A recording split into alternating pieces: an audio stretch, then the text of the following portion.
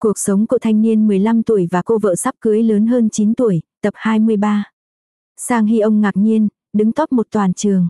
Trong 100 học sinh năm 2 chỉ, chỉ có 28 học sinh là được vào hàng đặc biệt, và trong số đó, người đứng ở đây dám khẳng định mình top 1. Sang Hy ông ngạc nhiên mà nghĩ, cô ta là ai? Uôn ưn dô nói, này tại sao cậu lại bắt đầu chăm chú nhìn tôi như vậy chứ? Hay cậu đã ngưỡng mộ tôi rồi? Thanh niên ngạc nhiên nhìn nhỏ chăm chú, nếu cậu thật sự là top 1 thì. Cậu thật sự học rất giỏi nhỉ, nhỏ nghe sang Hy ông nói hơi lắc một xíu, hả? Thằng này hỏi thừa, top 1 chẳng lẽ lại không giỏi a à?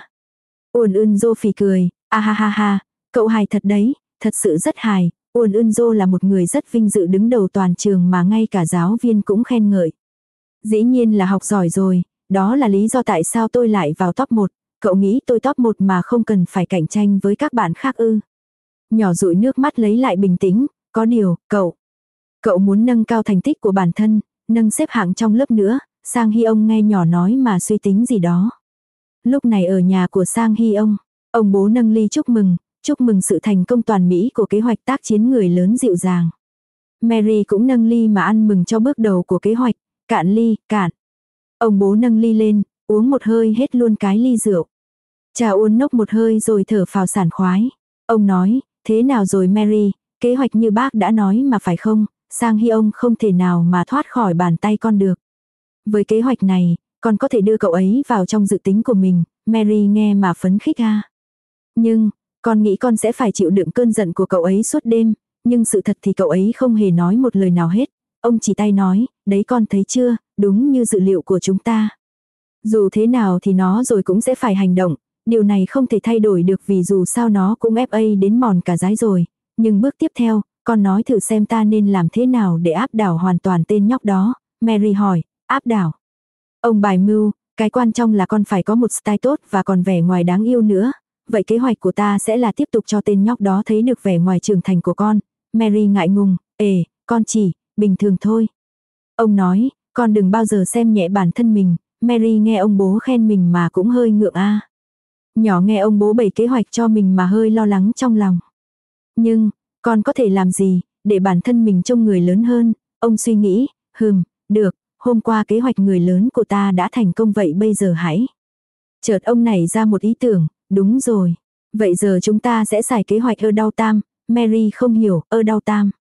Cha Uôn nói, khi đến tuổi trưởng thành, mọi người sẽ bắt đầu là việc rồi lại tìm việc, và người lớn cũng cần làm việc. Hiệu đơn giản là một thằng đàn ông luôn có những lúc cần được vui vẻ. Mary nói, con sẽ làm việc.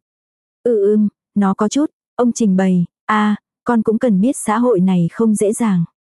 Trước đây, con từng làm việc ở cửa hàng tiện lợi gần nhà mà phải không? Bác có nghe họ nói về con và bác thấy như vậy là rất tốt. Nếu con chỉ suốt ngày làm việc ở trong nhà thì làm sao test được, nó thật sự không hay tí nào, nhưng nếu làm việc ở bên ngoài thì con có thể học cách cư xử với khách hàng của mình.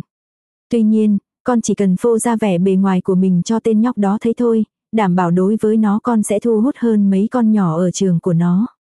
Và thế là con có thể nói lý lẽ về việc tại sao mình không cần phải làm việc nhà và con sẽ có thể chứng minh cho nó biết bằng cách chứng minh bản thân mình, chứng minh con là vị hôn thê không mềm yếu, xinh đẹp, đầy đủ điện nước và là một người phụ nữ quyến rũ. Mary nghe ông bố nói mà há hốc mồm luôn a.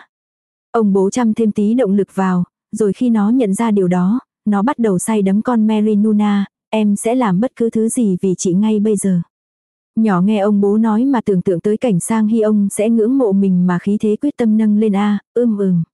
Con sẽ thử, kế hoạch đi làm việc, con sẽ, cho sang hy ông thấy mình là người phụ nữ không hề mềm yếu. Ông bố đứng chống nạnh, đúng, chính là như vậy. Ông bố vỗ vai khích lệ tinh thần, rồi con sẽ có thể ngăn cản được mấy đứa bạn gái muốn ve vãng sang hy ông. Chợt sang hy ông nói, con về rồi đây, hai người nghe mà bất ngờ a. Mary vội nói, mừng em về nhà. Thế nhưng nhỏ chưa nói hết thì bất ngờ mà ngưng lại luôn, khi mà thấy thanh niên dẫn gái về nhà. Nhỏ uôn ưn dô tự giới thiệu, chào chị, xin lỗi vì đã làm phiền. Em là uôn ưn dô, học cùng trường với Sang Hy ông, rất xin lỗi vì đến mà chưa xin phép ạ. Mary với ông bố thấy Sang Hy ông dẫn gái về nhà mà sốc ngang luôn a. Có vẻ như, kế hoạch để trở thành một người phụ nữ không mềm yếu, có lẽ không dễ dàng rồi a.